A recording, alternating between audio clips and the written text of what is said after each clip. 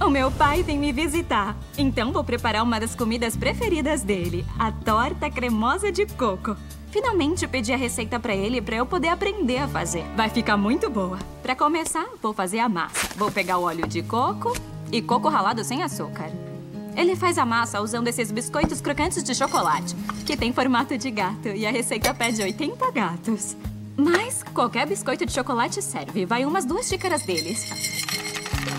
Eu vou dar liga na massa usando óleo de coco, que vai dar ainda mais sabor de coco para essa torta. Vou pegar cinco colheres de sopa. Isso é óleo de coco não refinado, porque ainda tem o sabor do coco. Agora vou pulsar até a mistura virar uma areia.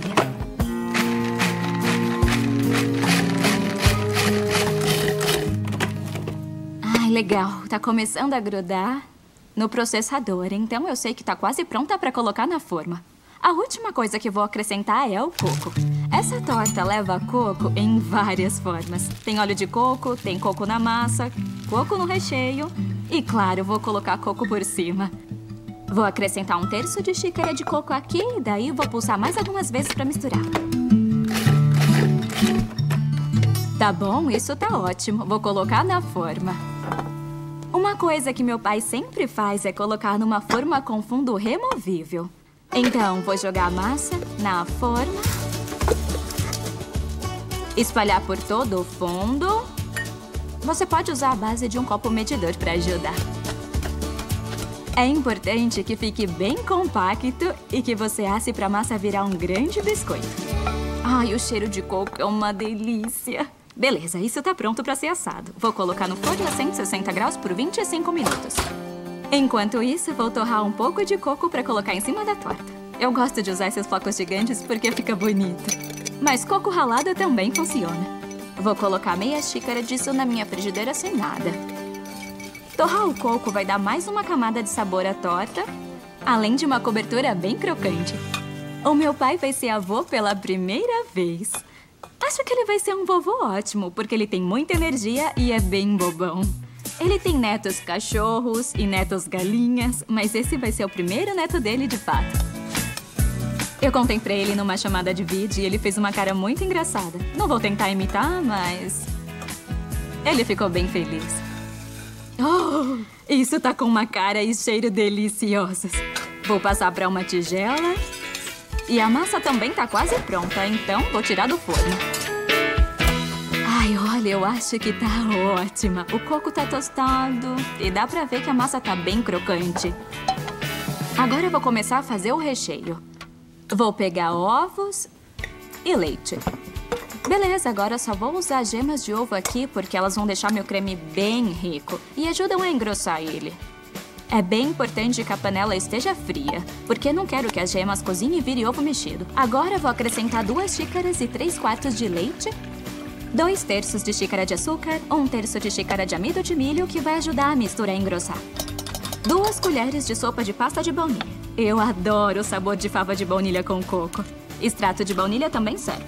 Daí, 3 quartos de colher de chá de sal para realçar todos esses sabores. Agora vou misturar bem até ficar homogêneo e só depois vou ligar o fogo. Assim eu evito que as gemas cozinhem e virem ovo mexido dentro da mistura.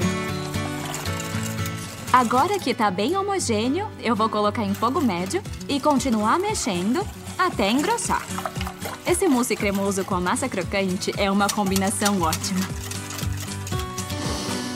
Hum, o cheiro tá muito bom aqui. Olha como tá espesso. A magia do amido. Vou misturar delicadamente uma xícara e um quarto de coco ralado. Eu comeria isso de colher. Tá bom, agora tá pronto pra colocar na forma. E meu pai vai surtar quando ele vir essa torta. Opa, tá bom. Beleza, eu vou espalhar por igual. E eu quero que fique acima da massa de biscoito. Para quando assentar e eu tirar as laterais da forma, eu possa ver as três camadas. Tá bom, prontinho. Essa é a base da torta. Vou deixar descansando na geladeira por umas duas horas e enquanto isso vou começar a fazer outras coisas. Tá, adivinha o que eu fiz? A famosa torta cremosa de coco? Adivinhou? Aê, minha preferida. Ainda tem que colocar o chantilly em cima. Tudo bem. Então, você pode medir uma xícara e meia de creme de leite fresco? Vou bater até ficar em picos firmes. Tá bom.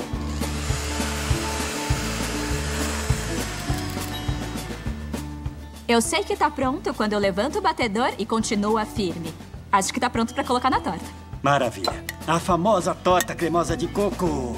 Como ela ficou Delícia. famosa? Todo ano tínhamos o dia da torta 14 de março. Então, em um ano, uns 12 anos atrás, eu inventei isso aqui. Essa foi a minha primeira e única torta. Como é que tá? Tá perfeita. Tá bom. Quer colocar o coco queimado? Tá bom. Uau, esse coco queimado tá lindo. Muito bom. Confeitos? Confeitos, claro. Porque é a minha versão da torta de coco. Tá bom. Agora vamos colocar bom? chocolate em cima? Sim, quer colocar umas raspas de chocolate? Aê, eu quero muito. Lindo. Vamos fazer a revelação. Eu tô animado. E agora eu vou abrir a lateral da forma. Saiu. Ah, Como olha é que isso. tá? Ficou incrível. Uau! Aê! hum, tá linda. Muito bom. Ê, maravilha. Beleza, vamos comer. Sim.